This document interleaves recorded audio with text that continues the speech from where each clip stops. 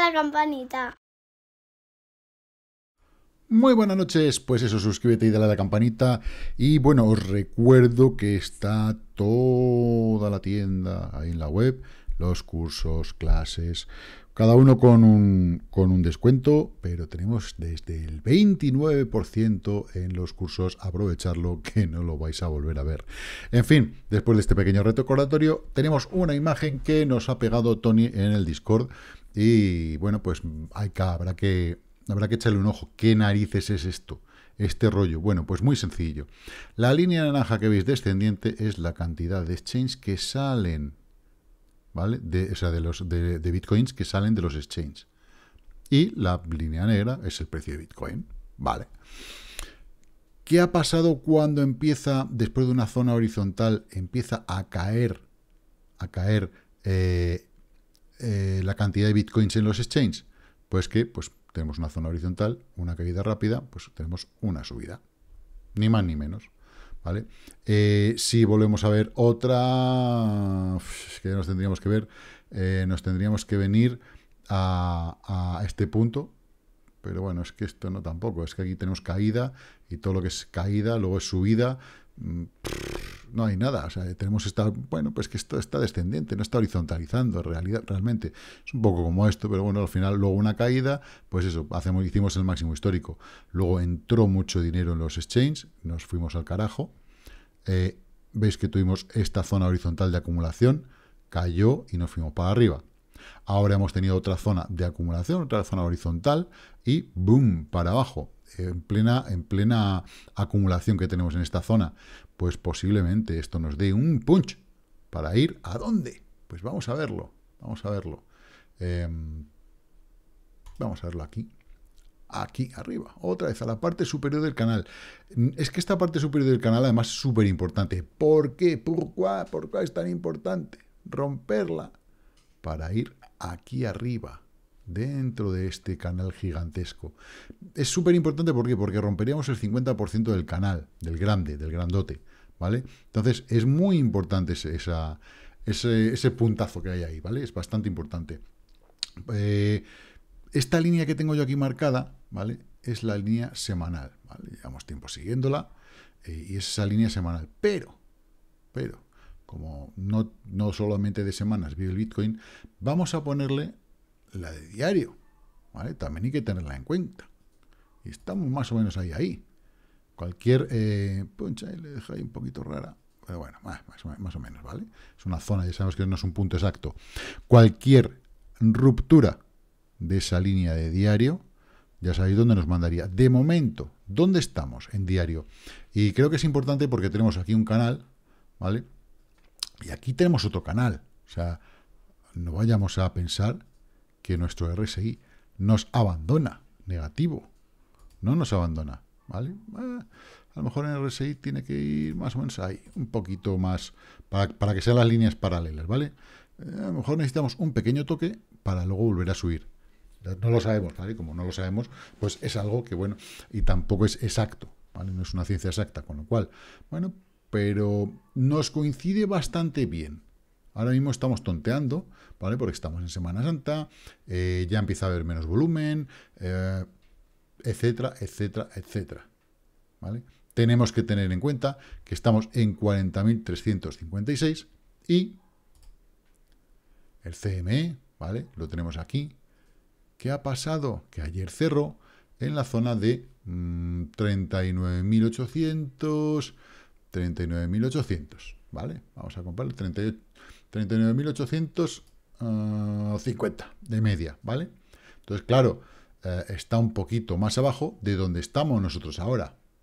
Tenemos este gap que hay aquí, que se vino a cerrar aquí, ¿vale? Diario. Si lo vemos en cuatro horas, es una forma, de una forma distinta. ¿Veis? ¡Pum! Se cerró. Hizo después de soporte. Y quizás, quizás, quizás nos pueda volver a hacer el soporte. Esperemos que no. Pero si este canal paralelo uh, aquí, con este otro aquí, ¿vale? Lo estamos llevando más o menos bien, estamos en cuatro horas, ¿vale? Vamos a ir a diario, ¿Qué pasa? Es muy similar, es prácticamente idéntico al que llevamos eh, fuera. ¿vale? Tenemos, eh, no, aquí no, aquí. Tenemos que tener muy en cuenta los posibles movimientos que haga el CME, ¿vale? Cuando abra. ¿Y cuando abre? ¡Ay, Dios mío! Estamos a viernes, en blanco. Sábado, en blanco. Hasta el domingo no va a abrir. ¿Dónde estará el precio de Bitcoin? Yo no creo que vaya a salir al alza ni que vaya a escaparse. No creo que quieran hacer ningún gap. En estos momentos yo creo que no interesa ningún gap. ¿Van a poder controlarlo? No lo sé, porque son muchos días a nuestro libre albedrío, ¿vale? Entonces, claro, pueden de alguna forma, eh, pues no sé, hay que estar tranquilitos en la zona. Si pegamos un disparo arriba, lo vamos a pagar después. Si nos vamos abajo y hacemos esta mecha, quizás lo paguemos, pero forma, de forma positiva. Ahora bien, los datos que hemos estado viendo en Chain nos dicen que, en cualquier momento podemos salir disparados. ¿Qué, necesitan hacer?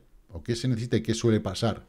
Fijaros que previo a esta subida, ¿vale? Aquí tenemos una vela de un 11%, aquí tenemos una vela de un 14%. Previamente, ¿qué hace? Limpia. Aquí, gente que está en largo, ¡pum! No demasiado, pero, pero, pero suficiente como para liquidarse a toda la gente que esté de 10x en adelante. ¿Vale? Entonces tiran el precio para abajo, liquidan a toda esa gente y después de reposar un poquito, ¡bam! Salida al alza. Aquí exactamente igual y ¡pum! Salida al alza. Hemos, estado tocando esta zona, que ahora mismo es una resistencia, ¿Y ahora qué nos toca hacer ahora? Pues lo, ya lo llevo varios días diciendo, exactamente lo mismo. Creo que habrá una liquidación de largos y después, ¡pum!, una salida potente al alza, o al menos eso es lo que necesitamos, lo que se debería dar y lo que, como veis, se ha dado anteriormente. Y no solamente aquí, también lo tenemos aquí, ¿vale?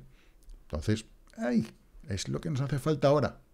Una liquidación de la gente que esté larga, Mm, con multiplicadores ahí interesantes, te dice que en adelante, y luego buff, una subida para la gente que está corta. Así que hay momentos, ¿vale?, en los que no vale la pena el riesgo, ¿vale? Yo cuando, cuando entráis en una operación, lo que siempre os digo, me lo preguntáis muchas veces, sobre todo los alumnos también, ¿no? Y yo os lo digo, preguntaros eso, ¿vale la pena el riesgo que corres? Eh, ¿Estás dispuesto a perder eso? tenemos que verlo, ¿vale? Hay que darle cuatro vueltas y, bueno, mm, ver si, si de verdad, si de verdad eh, ese apalancamiento en ese momento, ¿vale? Hay momentos para todo, vale la pena y en ese sentido, ¿vale? Es decir, si ahora, por ejemplo, desde aquí tuviéramos un mechazo, que normalmente no se produce desde la parte inferior, que muchas veces lo calculamos de ahí, no. Veis cómo sube y luego plaf, sube entonces necesitaremos que suba un poquito y a lo mejor desde aquí te pega un mechazo hasta la línea de tendencia y es un 11%, es decir, toda la gente que esté 11, 12X, boom, fulminada. De, o sea, perdón, desde los 9, 8 o 9X. Ya están todos liquidados completamente en adelante. Entonces, mm, incluso los 5X están con canguele. No, no les va a liquidar, pero eh, con bastante canguile. ¿Que luego es un rebote muy rápido? Sí, evidentemente, y pegas un pepinazo. Entonces, ay, ahora me dices, ¿qué no? ¿Y qué pasa entonces con este mm, modelo semanal en el cual hemos perdido la media de 50, perdimos la EMA 20 y estamos cayendo? Tenemos debajo la media de 100 paralela, además justo a este canal. Curioso, ¿eh? Bueno, pues mientras no perdamos esta línea de mínimos, ¿vale? aquí cuerpos y aquí las mechas, esta línea de mínimos, estamos todavía en disposición de rebotar el canal y volver a la parte de arriba, vencer a la EMA 20 y vencer a la media de 50. Por supuesto que estamos ahí. Entonces, si encendemos el One, lo vemos perfectamente. Estamos confirmando por debajo, ¿vale? Esta semana, cerramos y esta semana estamos confirmando por debajo de ambas dos. ¿Esto puede ser una hecatombe? Por supuesto que sí. Todavía, eh, pero lo que decía, estamos aún a tiempo. Es, es la última oportunidad, es lo que nos queda. Simplemente este rango que estamos haciendo, este canal, es el único que nos puede salvar de boom, irnos hasta aquí abajo. Entonces, el peligro, que es lo que a donde yo quería llegar, el peligro de que en los exchanges haya tan pocos bitcoins es que el precio de bitcoin es mucho más manipulable. ¿Por qué? Porque la cantidad que hay en juego es mucho menor. Entonces, con menos bitcoin también puedes producir una hecatombe y una caída importante sin necesidad de tanto volumen. Además, eh, bueno, eh, sí que puede ser positivo que el volumen esté cayendo, ¿vale? En rojo, rojo, rojo. ¿Por qué? Porque cuando el volumen cae, pero el precio baja, significa que esta caída eh, se está desgastando y que, bueno, pues que el mercado no, ta, ta, ta, pero todavía estamos a viernes. Entonces, lo más normal es que suba el volumen, ¿vale? Pues queda sábado y domingo y, lo que queda de hoy, bueno, pues tampoco creo que... Entonces, esto es importante, ¿vale? Es bastante, bastante a tener en cuenta. Se ha distribuido más de lo que se ha acumulado eh, desde esta caída, ¿vale? ¿Por qué digo esto? Pues muy sencillo. Porque si veis estas tres velas de subida, con estas tres velas rojas, es más potente el mercado rojo. Aquí exactamente igual, aquí exactamente igual, aquí exactamente igual, aquí exactamente igual, aquí... Pero al final hemos acumulado mucho más mercado rojo, evidentemente porque hemos caído, pero con más volumen que los días verdes, ¿vale? Que es, donde podemos ver la distribución. Lopaje está bastante igualada, está tan igualada que te puede, te puede distraer. Está tan igualada que te puede distraer. Entonces, claro, ese es el problema. Sin embargo, veis cómo aquí, en esta caída, se vio claramente, estaba semanalmente, se ve muy claro. Tremendo. Veis aquí estas dos semanas. Se ve muy claro por encima. Estas dos semanas muy claro por encima, dos semanas muy claro por encima, dos semanas muy claro por encima, dos semanas muy claro por encima, una distribución tremenda, hasta que empezó a acumular. Aquí. Aquí y dos semanas rojas, que cayó el volumen, a partir de ahí, boom, para arriba. Por eso estas tres semanas rojas, si cae el volumen es posible que tengamos una semana verde que nos lance, nos impulse otra vez a la parte superior del canal grande. Pero, eh, evidentemente, seguimos dentro del peligro de poder irnos al carajo, ¿eh? que nadie, nadie, no nos llevemos a engaños. No nos llevemos a engaños. Que lo que ha pasado anteriormente se repite y ya lo sabéis. Entonces, eh, pero vamos a intentar ser positivos, evidentemente. Mientras no perdamos este pedazo de canal, vamos a seguir siendo muy, muy, muy positivos. Y yo, personalmente, pues, me encuentro bastante positivo. Tenemos este canal RSI, nos podemos apoyar en él, ¿vale? Para hacer una claudicación, por así decirlo, y luego irnos para arriba. Y sería muy importante, ya os digo, romper este canal en el que estamos al alza para eh, romper la, el 50% del canal grandote, que es lo que nos puede impulsar más arriba. Eh, y lo dicho, muy, tener muy en cuenta esa, esa cantidad de bitcoins que están saliendo de, de los exchanges, porque es lo que puede marcar el futuro inmediato eh, sobre todo en hold. En trading ya sabemos que tenemos de un poquito de todo y una de cal y otra de arena cada día. Hoy la dominancia de Bitcoin está bajando, bueno, está terminando, bueno, está terminando, no, todavía queda una vela de cuatro horas. Eh, parece que va a terminar un poquito, pues eso, desgastadilla, pero bueno, tranquilidad, no se está moviendo demasiado. De momento, el total market sí que ha subido un pelín, ha intentado atacar la media de 100 otra vez y la de 50 y no ha podido. Veis que se ha quedado ahí en la de 50 pegadito, pues y se nos ha venido un poquito abajo. Bueno, si acumula un poquito verde, ya hemos dicho que tampoco puede salir muy al alza. Lo que sí me gusta es que veis en diario como la media, nuestra línea de media es la roja, está ya por debajo y se nos ha venido a la derecha, ¿vale? Eh, la acumulación. Entonces, en el momento que empiece a girar y se ponga verde, pues podemos ir arriba. En Bitcoin, si nos ponemos en diario, pasa exactamente igual. ¿Veis cómo viene? Aquí nos viene a acunar, ¿vale? Como hizo aquí, ¿vale? O como hizo aquí. Y de repente, pues podemos salir al zapum. Eso quiere decir, fijaros, cómo venía en rojo y aún así, ¿veis la mecha, no? ¡Pam! Todavía en rojo. En el momento que se recupera, nos vamos para arriba, verde. Aquí Igual, estamos en rojo y todavía la mecha, ¡pum! Y luego se recupera verde para arriba. Y es el movimiento que estamos esperando. Eso es lo que yo espero. Dicho esto, ¿qué pasa con el oro? Pues está ahí tranquilito, reposando de fin de semana, de esta de Semana Santa. Y ya está. Y las altcoins hay un poco de todo. Tenemos bastante verde. Eh, vamos a ponerlo al revés. Lo que pasa es que no hay grandes ganancias. Tenemos CFX, One Earth, Audio, eh, Planet también. Bueno, que está intentando recuperarse de esta pequeña batalla que tiene el personal ahí con, con, su, con su salida al mercado. Em, esto es un claro ejemplo, ¿vale? de lo que pasa con, todo este tipo de proyectos. Pegan un subidón, ¿vale? Hizo, hizo una especie aquí, bueno, pues un movimiento rarísimo y luego se nos vino al carajo, se fue al carajo y ahora, una vez que llega a los mínimos eh, no, no llega al mínimo histórico, está muy muy abajo todavía el mínimo histórico, pero sí que en la zona de mínimos de salida los pierde y a partir de aquí muchas veces es cuando se produce una recuperación.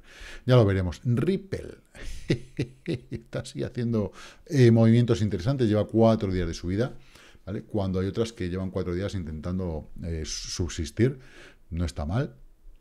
Eh, esto es contra el euro y contra el, dólar, las dos muy muy bien. Zona de soporte, vino ese apoyo y yo creo que volverá otra vez por lo menos hasta la media de 200. Lleva aquí un toque, lleva aquí otro toque, a ver si consigue romper esa resistencia de los 0,90. Creo que a partir de ahí puede dar bastante guerra. Waze un poquito, también tiene por aquí, Voxel también, Estela el otro 460, también está intentando seguir ahí a, a Ripple, Presearch subiendo otro poquitito y bueno, pues EOS eh, arrancado, EOS existe, increíble. Pues que EOS, pues a estos mínimos. Debería de pasar la media de los cientos de una forma potente para intentar atacar la zona de los 370, que fue este apoyo que hubo aquí, pero no sé, yo no lo tengo muy claro con EOS, al menos que no haya un mercado muy alcista, bastante complicado. Litecoin le pasa tres cuartas de lo mismo, eh, está en esa zona, y a ver si sale de ella, pero claro, lo tiene bastante complicado. Monero eh, ya ha salido bastante al azar, hizo el doble suelo, la línea de tendencia que rompió, cruces y cruces, y él sigue su caminito. Eh, y es lo que tiene este tipo de, de monedas que van, bueno, pues eh, en contra del sistema, por así decirlo. Buenas son.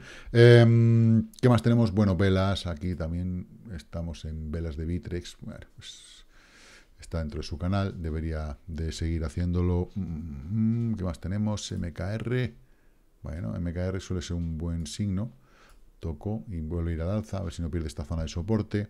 Ah, Cake, también, sé que mucha gente está con Cake, ha hecho un pullback. Ah, quizás, quizás eh, resista y soporte bien la media de 100 y vuelva a ir al alza para romper esta línea de tendencia que tiene pendiente aquí. Toque, toque, toque, toque y toque en el momento que la rompa, mm, meterá un buen pepinazo. De momento tuvo un buen arranque, retroceso, y si puede ir arriba otra vez, a ver si puede romper esa zona tan importante del 10 y pico, casi 11. Eh, poca leche más en la parte negativa que tenemos por aquí, en negativo. No por ser negativo, sino por repasarlo. Bueno, Melos, que sigue, sigue cayendo. Si quitamos el logarítmico, vemos que, bueno, pues va intentando ir a su precio de salida, y una vez que llegue él, pues ya eh, quizás sí sea un buen momento de entrada. Eh, por esto no quiere decir que sea un mal proyecto, ¿vale? Ojo, no tiene nada que ver este movimiento que está haciendo, que es algo muy típico de todos los proyectos nuevos que salen, igual que hemos visto uno anterior, eh, con que sea bueno, sea malo, no tiene nada que ver. Eso, es el mercado, eh, es lo que al final juzga. El mercado entra, hay un fondo muy grande y luego poco a poco van distribuyendo, van saliendo y pues se va, se va el valor al carajo, es normal. Esto pasa en todos los, en todos los valores cuando salen al mercado. Es totalmente normal. Eh, luego, para que luego hay que tener paciencia, ¿vale? Y ya está. O sea, yo, si ha salido en 40, en 5 centavos de dólar, ¿vale? Y pegó un pepinazo a 57, es, claro, es una barbaridad. Eh, entonces, bueno, pues claro, mucha gente que comprase en la ICO privada, posiblemente es comprarse por debajo de 5, o a lo mejor compró en, en 8, o 9, o en 10, no importa, pero al hacer un 100% o algo más, o más, fíjate, un por 5, si ha comprado en 10 centavos, ha hecho un por 5, pues ha hecho yo vendo y luego ya, pues a lo mejor o vendo una parte y la otra no, y luego cuando caiga vuelvo a comprar, ya veremos. Pero eh, es lo que suele pasar, ¿vale? Lo que suele pasar. OGN 5,5, la volatilidad está a un 4,74, sigue cayendo, eh, VR, ¿vale? haciendo un doble suelo, ¿vale? Bastante simpatiquillo en este punto. Si lo consigue solventar, ¿vale? Y puede ir al alza, a lo mejor se libra de la gran caída. Eh, y bueno, poca leche más, el resto ya estamos por debajo del 5%. Eh, las altcoins contra Bitcoin, pues bueno, mm, vamos a ir a QSP que estaba subiendo un 30%, ¿qué tenemos por aquí?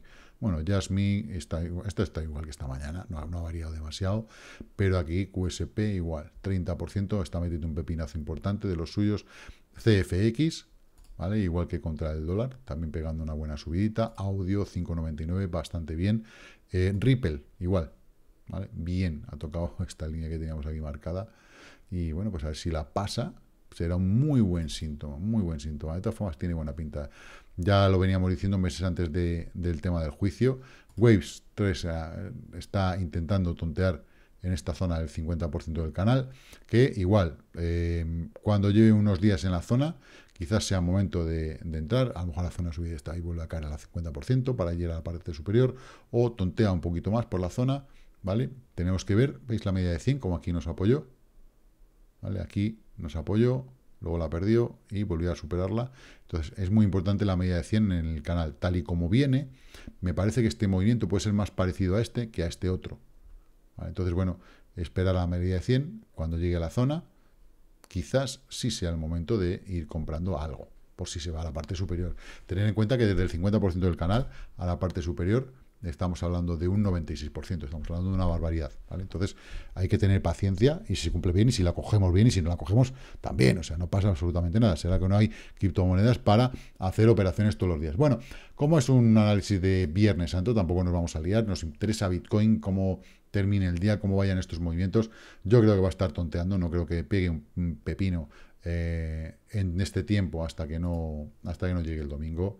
Eh, más nos vale, y si lo pega, que sea el, inferior, ¿vale? Que sea el de, la, el de la mecha que tiene que venir abajo, porque sería una estupidez, de verdad, una subida ahora, posible que tenga una subida a la media de 50, sí, 41 y pico, vale, vuelve a caer, eso, eso sí, ese movimiento sí es bastante factible, y además que eh, normal, dentro de todo lo que tiene que hacer. Así que poco más, eh, espero que estéis descansando, que estéis reposando, que este tiempo pues os sirva pues, para meditar un poco, para ir viendo planes que queráis cumplir a lo largo de, este tiempo, eh, este 22. Hay que seguir con ello, es decir, recordar que en enero empezamos a pensar en muchas cosas, eh, pero hay que seguir con ello, hay que seguir rascando, rascando, rascando y cada día un poquitito. Así que bueno, chicos y chicas, como digo, siempre invertir con mucha cautela y que la paciencia os acompañe. Chao, chao.